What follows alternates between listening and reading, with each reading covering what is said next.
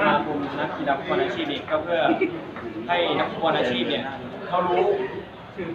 ผมว่าหลาย ๆ คนยังไม่รู้ว่าอ่าขอบเขตแล้วก็เรื่องการเป็นนักฟุตบอลอาชีพเนี่ยมันมีข้ออะไรบ้างทำให้เขาเกิดความรู้ความเข้าใจแล้วก็ที่ที่สำคัญเลยการปกป้องสิทธิ์ของเขา แล้วก็ช่วยพัฒนาในในองค์กรของ ฝ่ายของนักกีฬาอาชีพเอง ให้ให้เขามีประสิทธิภาพที่ดีที่สุดในการเล่นฟุตบอลครับอ่าแล้วสมาคมมีสิทธิ์มีอำนาจในการต่อรองอะไรกับสโมสรสโมสรที่ยอมรับความรับไอ้เรื่องปัญหาที่มันเกิดขึ้นการเกิดข้อพิพาทเนี่ยมันเป็นการปลายเหตุนะครับ ที่เราจะเข้าไปแก้ปัญหาเขาอะไรเงี้ยสิ่งสำคัญคือการเจรจาให้เกิดความปณีประนอม ที่สำคัญเลยก็ต้องมีความยุติธรรมให้กับทั้งสโมสร แล้วก็อ่าปกป้องสิทธิ์ของนักฟุตบอลอาชีพด้วยเช่นกันครับผม เจ๊พูดถึงหน่อยการมีสมาคมนักกีฬาฟุตบอลแล้วเป็นยังไงครับผมก็คือ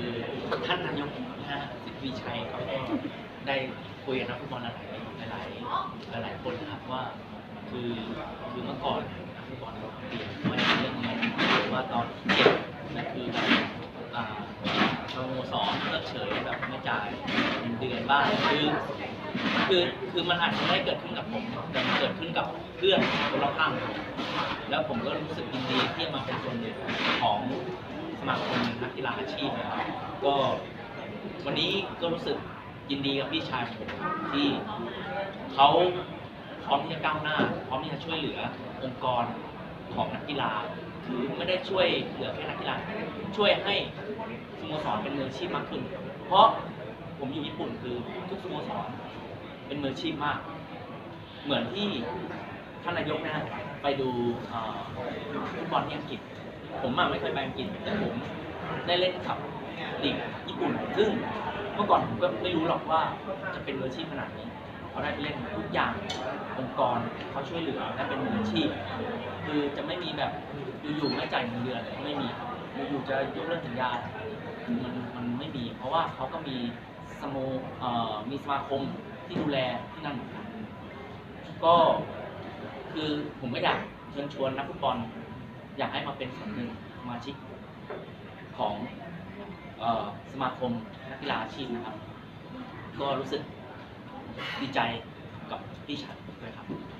แมตช์ทีมชาติแมตช์สุดท้ายของเจคือแมตช์กับญี่ปุ่นใช่ไหมครับ ทีมชาติใช่ไหมครับ ตอนนี้เจกระหายแค่ไหนในการเราเชียร์ทีมชาติไทยก็คือที่ผ่านมาผมก็เฝ้าดูให้กำลังใจเพื่อนเพื่อนร่วมทีมครับ ก็ถามว่า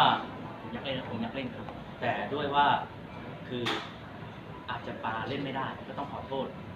แต่สิ่งสำคัญที่ผมทนไม่ได้เลย คือหลายๆประเทศมาดูถูกประเทศเรา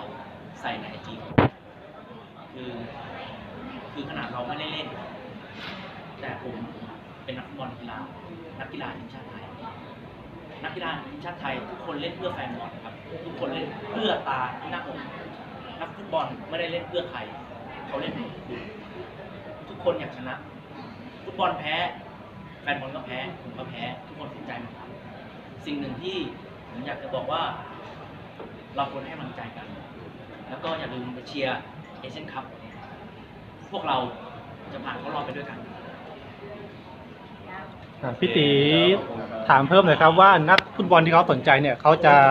จับต้องจะเข้าถึงจะติดต่อได้ยังไง ที่จะเข้าสมาคมนี้ครับผมก็ก็ต้องฝาก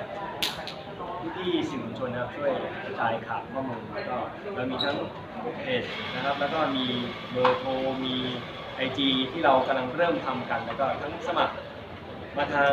ออนไลน์ หรือว่ามาสมัครที่ออฟฟิศของเราก็ได้อยู่ข้างๆสมาคมฮอกกี้ครับครับผม 啊怎么啦